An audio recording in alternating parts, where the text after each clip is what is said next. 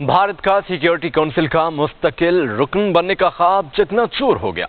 अकवा मुतहदा में मुस्तकिल मेंबर के लिए भारत ने पाकिस्तान के मौकफ को तस्लीम कर लिया गया है। पाकिस्तान का मौकफ था कि भारत ने अकवा मुतहदा की करारदादों की हमेशा खिलाफ वर्जी की है।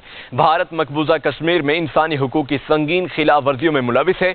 भारत सेकुलर कामयाब मीशत के दावे के बावजूद यू एन मैार पर पूरा नहीं उतरता। सिफारती जराये के मुताबिक यू एन चार्टर में भारत के पास दो तिहाई अक्सरियत नहीं है।